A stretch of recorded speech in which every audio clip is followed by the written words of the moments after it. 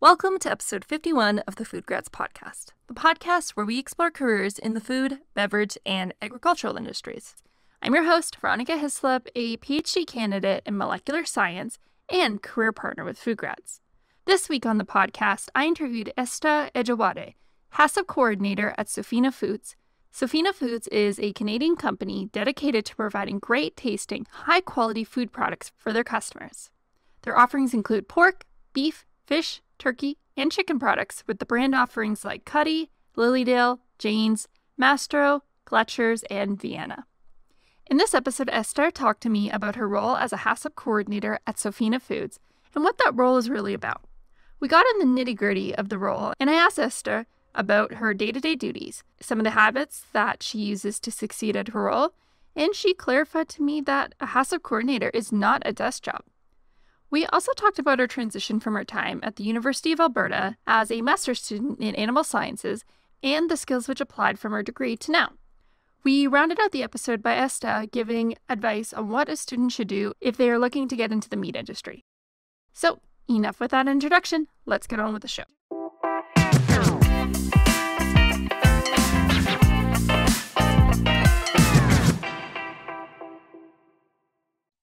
Okay. Okay. So, um, thank you so much, Esther, for taking the time to come on the show today. I I'm really excited to to talk to another, well, you're a former student, but you've gone through the graduate experience a little bit. So I think that there's a lot of stuff that we can talk about and just learn more about how you transitioned from graduate school to a role like a HACCP coordinator. I'm I'm really excited to hear your story. So thank you so much for coming on the show. Thank you for inviting me. It's my pleasure. I look forward to it too. I had to get you on the show when I saw you on LinkedIn. And, and first of all, congratulations. I see that you are a permanent resident now in Canada. So that is really exciting. So, congratulations. Thank you so much. Thank you. To get okay. us started, I'd love to first talk about what you do now. Could you tell me a little bit more about your role at Sofina Foods and what exactly is Sofina Foods? Okay, I'll start by talking a, a little bit more about Sofina Food, then I'm going to dive into my role at Sofina Food. Sofina Food is a privately owned Canadian company whose goal is to provide great tasting, high quality food products for retail and food services.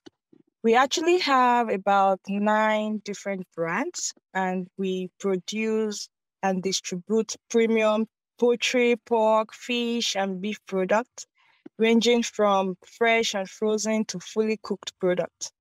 So currently, I work with the Lilydale brand at um, Edmonton, North Plant. I work as an HACCP coordinator. And what we do at Lilydale brand is that we majorly process and distribute turkey products.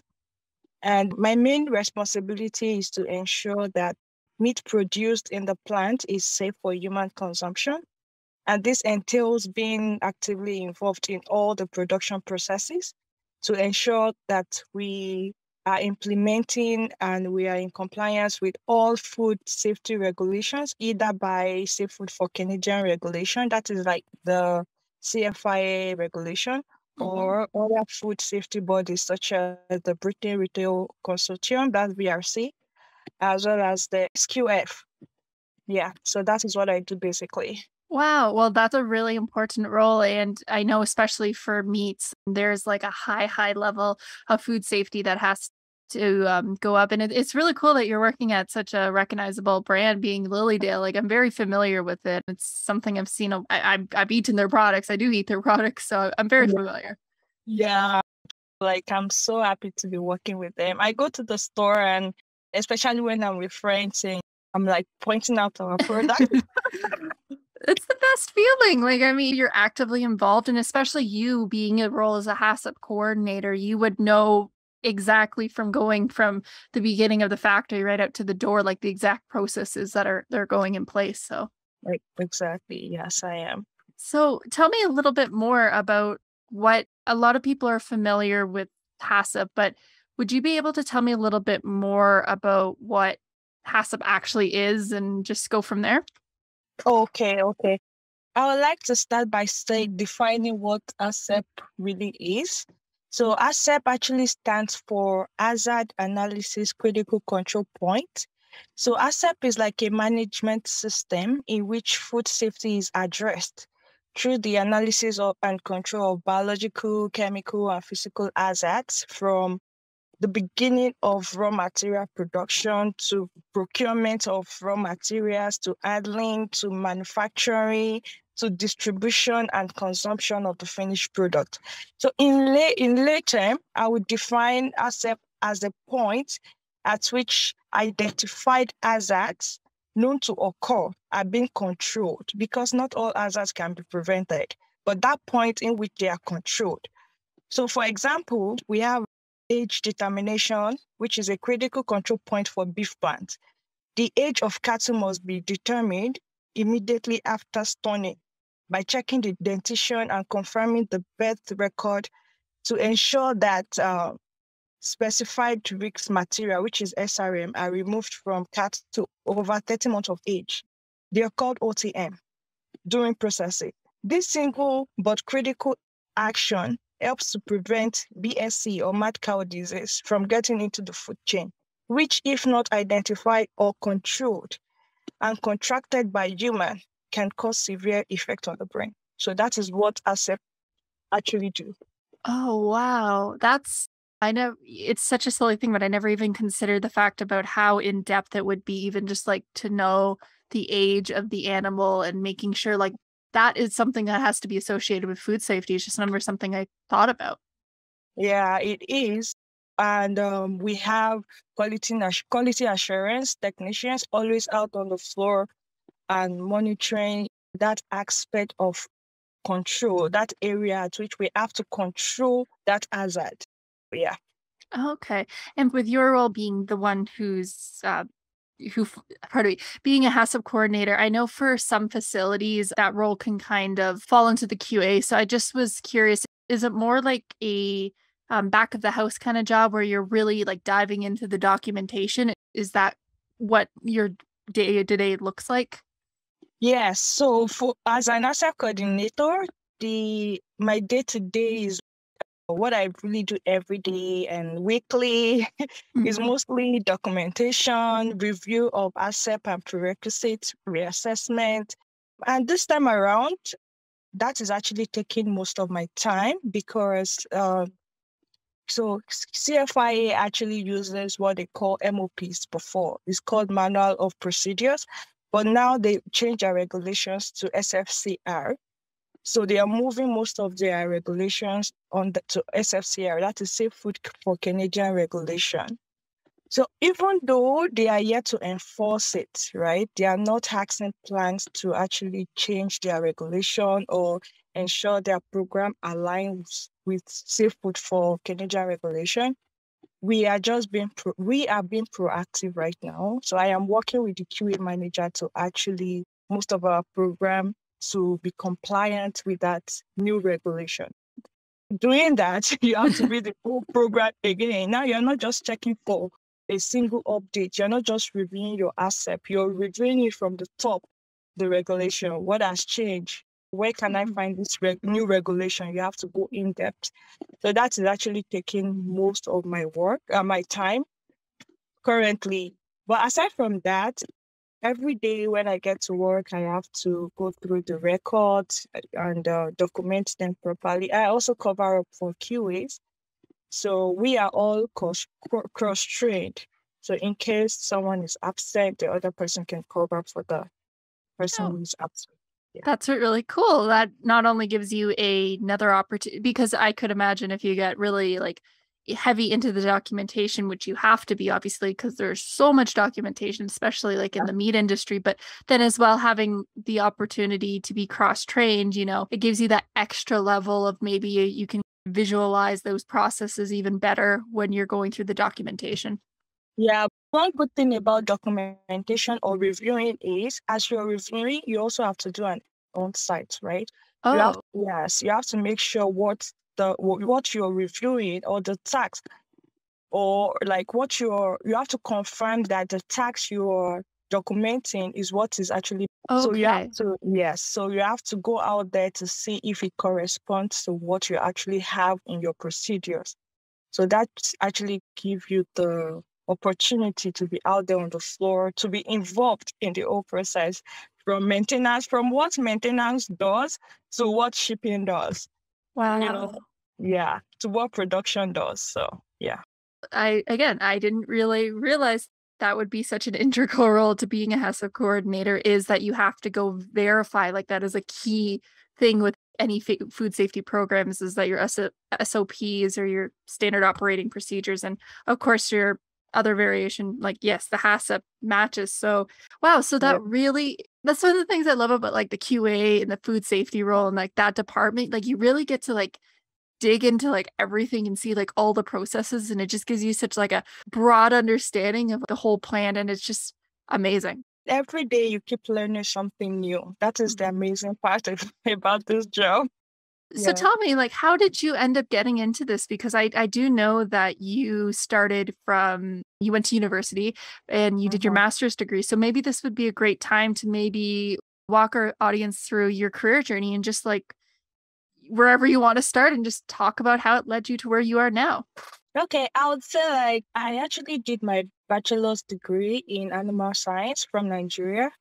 And my goal was actually to my first goal or my Okay. first career choice was actually to be a lecturer. Okay. Okay. So let's see how that you happened.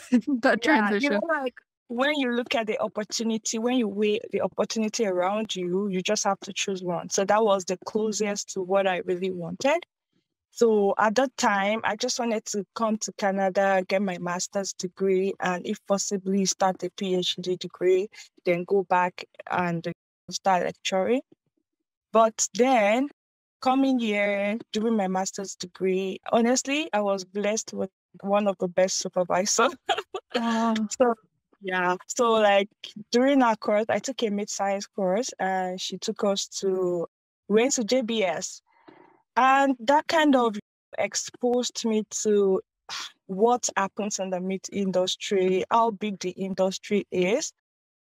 I just thought that okay, I really want to do this, and I would say my career actually started from being an intern student at the Federal Meat Plant. So I actually interned with our Canadian Premium Meat.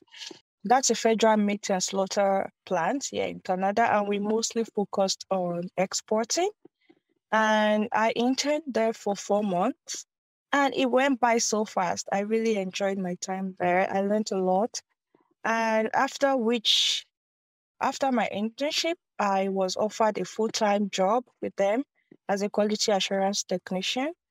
And within eight months of working with them, I was registered for HACCP certification. After the certification course, I was promoted to the HACCP coordinator of the plant. So I would just say, yeah, I would just say like the job offer and the promotion was actually due to my curiosity to learn about all the processes in, in such a short time and my ability to take up on new tasks and excellently complete them. And I'm a very detail oriented person. Yeah, so I was just so wanted to learn a lot about the industry. So that was how my career started. That's so like that is so cool. And it just goes to show like I think a lot of students who graduate like at the master's degree or who graduate with a PhD, like I know that they can struggle to you know, to Mhm. find it to find a job, but like look at how much your career has progressed just from you graduating from your like master's degree to like to to being at like a HACCP coordinator. And that's all because that you've put in that effort, like you said, and showed the details. And I can see like some of the skills build up from your master's degree and how they complemented to go out in the industries. But that is so cool. Like I could see how some of the pieces that you picked up during your master's degree went and kind of really helped you progress in pardon me how some of those skill sets that you developed in your master's degree probably helped you but it was because of your dedication that you really like progressed really quickly out of school and I, I think that's impressive but one of the things that i particularly was just curious about is you did mention that you enjoy the course with your professor with the meat science but I, I wanted to know was that your first exposure to animal science or meat what made you continue on that path? Because I do think that it, it's an interesting one. I, I just would like to know a little bit more about that decision. Okay, okay. Actually, that was not my first exposure to, to meat science.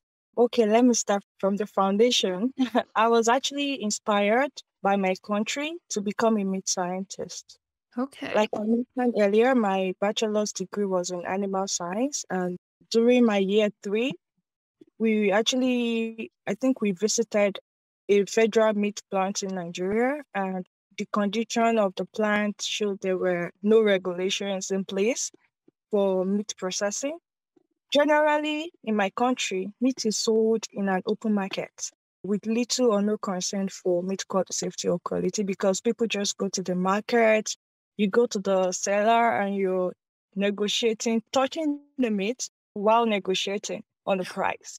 Yes. And I think this doesn't just happen in my country a lot alone because I've met a lot of people from other countries here and uh, we've actually had that conversation.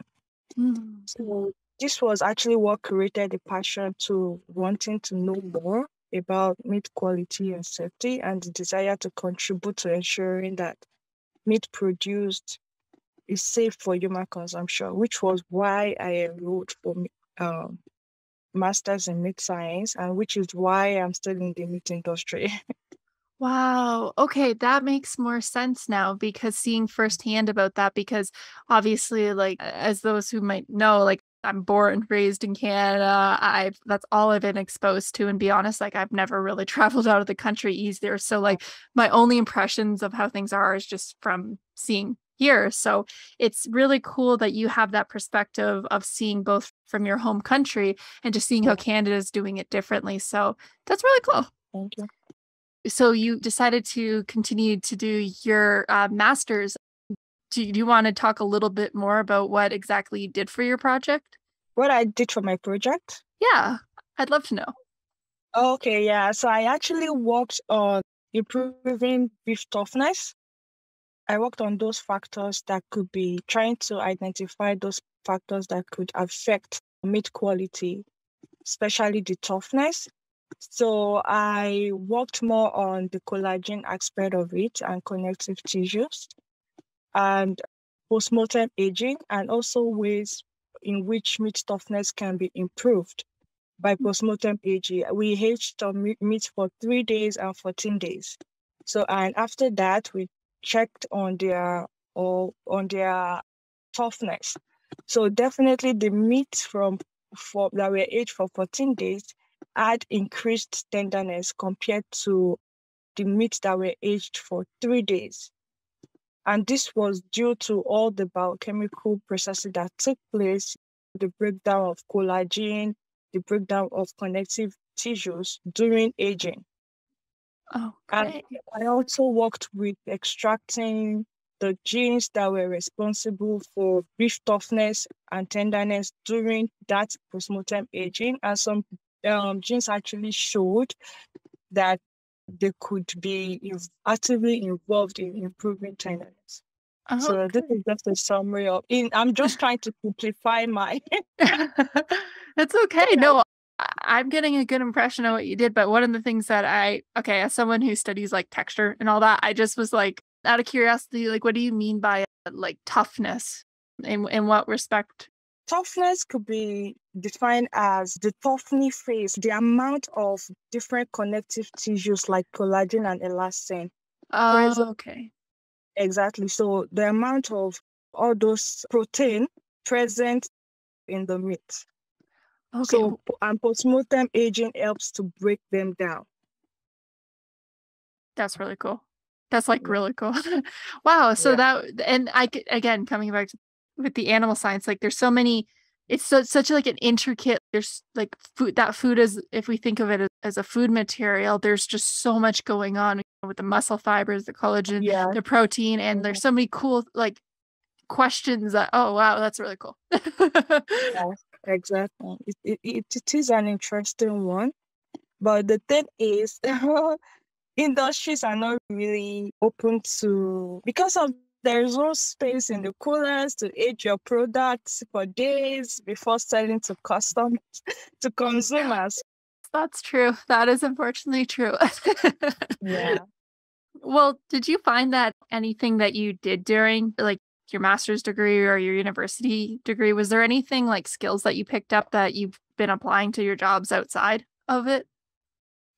Yes, for sure. There are lots of skills that I picked. Uh, is it about our effective communication, critical thinking, decision making, solving problems? As a Mm. research student, you have to be able to solve problems and also setting goals. We have a lot of deadlines to meet up with your mm-hmm. assignments, with your presentations. I would also say but let me talk about the effective communication. Coming from my country, we hardly get to present. We just go for presentation. Maybe I think I did presentation twice while I was in, doing my bachelor's degree, and that was for my. I would say that was for my bachelor's project, my final year project that I had to defend. While I was in school, we had a lot of, during my master's, we had a lot of presentations going on, even if you don't like to talk. Fun times. I know the feeling. I swear I'm doing like presentations every three months. I'm like, what? Yeah. I like must everybody be a speaker. it's a not talked about thing that I find. Maybe it's like certain universities. Okay. So with the effective communication, so I guess that would be really important being in like a HACCP coordinator role where you're talking to a lot of different people in the the plant. yeah, so I would say effective communication, being able to pass a message across to people you work with, telling them why, because it's like production and being a, being a quality assurance Mhm. officer, you have a lot of uh, understanding with people And Mhm. if you don't communicate effectively, that can lead to a bigger issue. You know, you are placing product on hold because the temperature is not, you've not achieved, they've not achieved the temperature they are supposed to achieve. And shipping is planning to ship out those products. And you're telling the ship, shipping manager or supervisor that you cannot ship out this, pro- Mm. this product. Being able to communicate, being able to tell them that this is the reason, this is the this is what the implication is going to be if you do this. And uh, this is a skill I would say I, I was able to acquire while I was in school because I, I like I was I considered myself not to be a good speaker when I came here. I don't like to talk much, but going through going through university at the U of A and also with my supervisor, I did a lot of presentation and I took a course as well. It's called Communication in Science and we were taught how to communicate effectively, both scientifically and in layman terms. And I also attended a lot of conferences, a lot of lab meetings. I was also taught on how to give feedbacks. And this has really helped. It has actually really helped me a lot. Now I'm able to attend meetings with the management. I'm able to tell them this is the update, this is the new update we have now, or maybe there is an issue going on, we have to implement corrective actions. I'm able to implement those actions. And it's, it's not just in speaking alone, you know, there is the written aspect of communication. You have a deviation or you got a car from CFIA, you have to write out, you have to perform your risk assessment, you have to write out your report. You know, being able to put all your findings or your investigation together is also an effective method to communicate. And I'm able to do those things. Wow. That's really cool like to hear because I think there's like a misconception with like graduate school that when you go, you just go in the lab, you go in the lab and then you just write your papers, you write your thesis and then that's it. You don't talk to anyone, you don't communicate, but like clearly like you mentioned, you know, you're doing the lab meetings which teaches you to like get used to talking to others in a lab capacity because you do technically work with other students presentations like yes oh my gosh there's so many presentations that i do too so like i feel you and even just if anyone wants they can see that you've written an intricate very well written crafted like thesis proposal or the final thesis so there's just so many different avenues that i just think that that is something that might get overlooked that maybe people unless they've gone through that graduate experience might not be actually familiar with it so like as a student you got to sell yourself that and also thanks for um, sharing that at the beginning you know you i would never be able to tell just based on this conversation that like you weren't someone who really was like very talkative or communicated a lot at like at the beginning of that. So it's clearly you've just transitioned to being someone who can very easily talk to. Yes yes i have. And did you find that when you went from your master's degree to like your full-time job did you find that transition like difficult for you for me i would say it was not difficult why because like i said i interned for four months remember I was just so curious during my internship that so much that I forgot I was still in school. oh, that's so cool. Okay, okay. Yeah. and maybe because I had a very wonderful manager who was easy to work with. And I was not at the beginning or at the start of it or during my internship, I was not overloaded with work.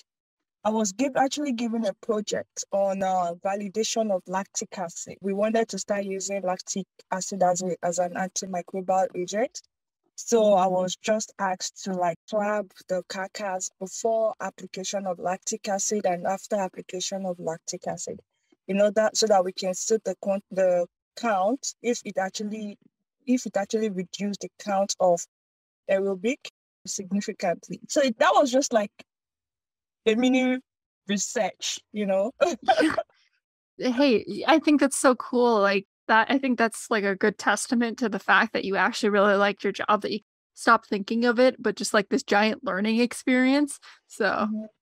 and it's, yeah. it, it is funny because like one of the questions I had thought about, um, do you ever miss the learning aspect that you got from your master's degree? Like, I mean, I know when sometimes when people go into the workforce they, they don't learn at such like a high capacity as their masters but i'm going to take a guess and say that you are learning constantly so you don't really have to miss it i'm not missing it because every day don't let me say every day but we kind of do some mini science work in the meat industry like we collect samples we send samples to the laboratory we run in-house testing we interpret results for E. coli, for Salmonella, for Campylobacter. Like we do all those kind of tests. We do validation. We do mm-hmm. we do shelf life study.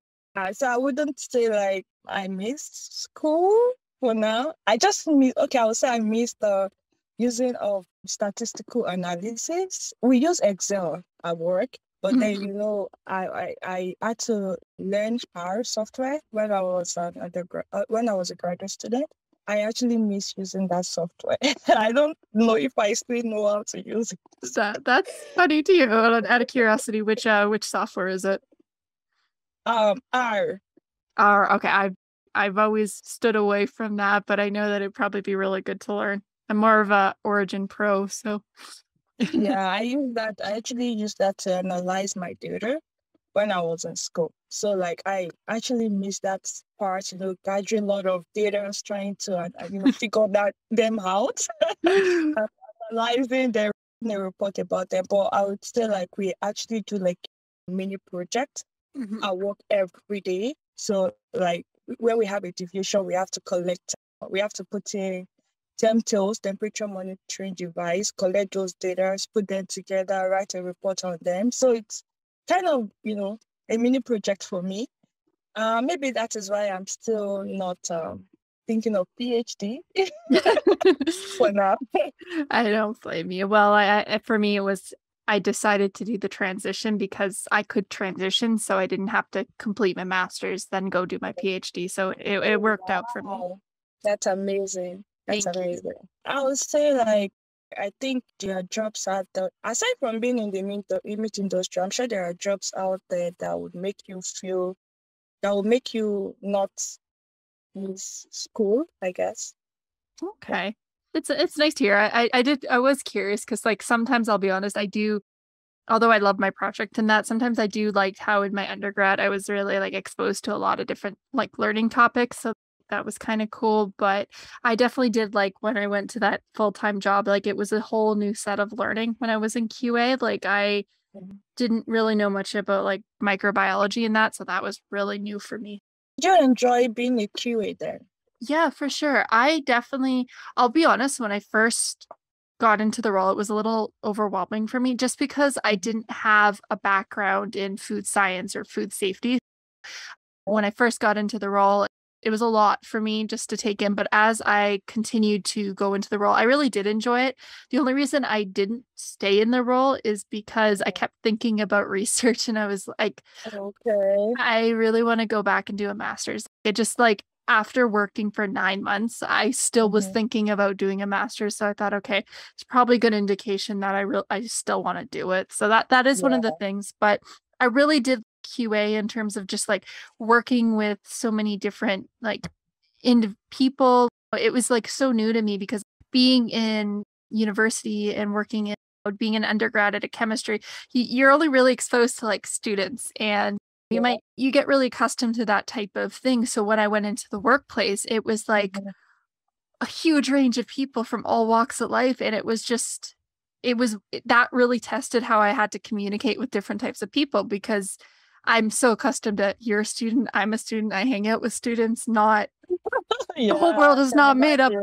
Yeah, the whole world is not made up of 18 to 25 year old students.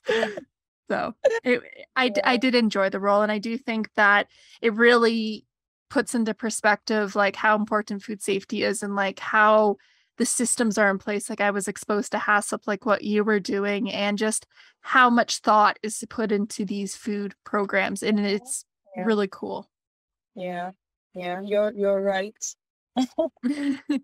and um like and one of the things that I I was curious like uh, one of the things that I always think about, at least even when I'm doing my graduate degree at it now, is like having certain habits in that. So I was curious, do you have any like habits or just like certain things that you do that help you to be good at your job? Do you like maybe have like a morning routine or just I'm just trying to get some background. okay. I like this question. I would say like and that has actually helped me to be good at my job would be staying organized. Okay. Do you know why I paused? I paused because staying organized in a meat industry is like the most difficult task you can think of because like food industry is a fast-paced industry and it can be really challenging. And uh, you have to keep thinking. It's mentally taxing as well as physically. And you can be working on a particular task right now and something comes up. You have to leave that immediately and you know move on to the next one. How do you remember you have a task what i do in the morning is that i make sure that i, I outline my daily and unchanged tasks every day or sometimes before i leave for the day at the end of the day for the next day. I just make it i have a to-do list that i have on my calendar on my desk. So i just mm-hmm. make that to-do list. I have to do this. And I cross them out after completion every day. But for meetings and for sampling, so I would say my daily tasks would be documentation, how I stay organized, and I would say lastly, being able to prioritize and not procrastinating. First thing after I've completed in the morning, I know I have to complete my daily tasks, which is record verification, attend management meeting. After that, I start working on the reassessment and the reports because the reassessment and the reports is a yearly task. So I have a tentative schedule for them. So I already grouped them, made them into groups for it for them to be easy for me because I know like sometimes I start working on the on the report on the reassessment and I don't even complete a section. So because I get other tasks. So. I I already know that, programmed myself to know that while working on this report, other tasks might come in. What I do is once I get them, I immediately add them to my to do list and I get to them as soon as possible. And I don't allow them to pile up. The more you leave those documentation or other tasks, the more you forget do, then you forget about them, and the more you have less things to do. So, and it can be overwhelming. Okay. Yes, uh, staying organized is definitely a very important, very important to actually succeed at your job. So it does sound like you've figured out a system that does work for you. So that's really cool. Yeah, yeah. yeah. And, and, and that does make me think about for students that are listening. I always like to ask my guests, but I'm going to tailor this question a little bit more for you. Okay. What advice would you give to students who are looking to get into a career in the meat industry? Um, actually, my first advice, which is a very important one, would be that that they should ensure they are passionate about choosing a career in the meat industry. passion, passion is needed because meat industry is actually a fast-paced industry, like I mentioned earlier. The key point is because at the start of your career in the food industry or meat industry, the, the pay you get might not be what you expect compared to other careers. And what keeps you going is that passion that you have for it.